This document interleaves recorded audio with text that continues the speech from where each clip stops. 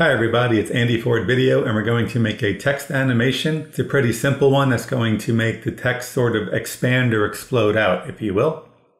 Here we are with the text layer and we're going to look at animating position, opacity, and tracking. As we open up our layer, we'll see this animate word with a button next to it. We click on that, we can select and add position and then add opacity and then add tracking because this is what we'll be dealing with.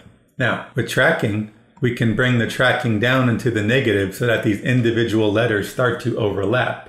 Because remember, we're going to start with them compressed and then expand outward.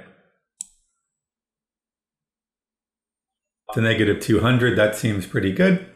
And then under range selector, we will see a start percentage. So we can keyframe start percentage here at zero and then go down a few frames and make it 100%. Have another keyframe there. You can see that makes our text expand outward. We can also go to position and lower this so it can kind of pop up while it's expanding.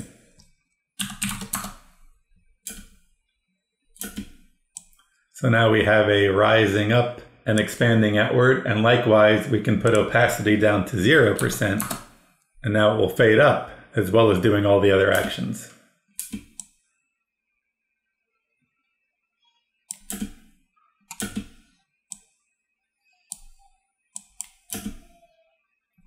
We expand out our keyframes, it takes longer.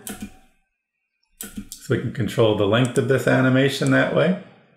But something's quite missing. This could look a little better perhaps, and I think it's if we had this expansion work really fast. So we sort of ramped into the expansion it exploded out really quickly and then kind of ramped down. So of course, making it ease in and ease out is simply done by easy easing our keyframes. But we can go to our speed graph and really speed up the middle part. So if we click our graph editor icon up here, we will see our speed graph. If you're not seeing that, you might be on value graph. So you simply right click and go to speed graph.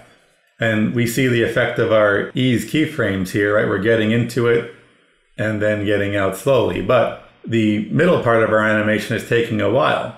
We can click on a point here and then this outer handle we can drag to warp our curve and steepen our curve. We can do the same with the other handle. And so now what we've done is really created a fast portion in the middle. So we can see we're easing in and easing out still, but the beginning is happening quickly. And that gives us animation that pop that we need for that explosive or expansive action. So here's another quick way to reveal and animate text. Hope you enjoy it. Thank you.